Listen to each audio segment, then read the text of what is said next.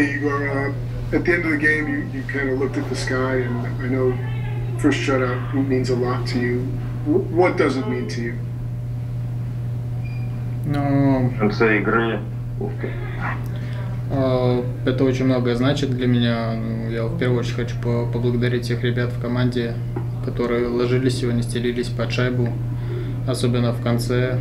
Это очень много значило для меня.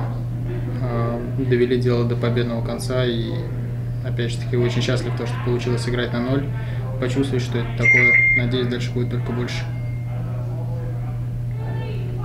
Uh, it obviously means a lot, and I want to thank all the players who played in front of me and blocked shots all game, especially at the end when it was so meaningful to me uh, to get this win and the shutout, and they did it for me, and I'm thankful.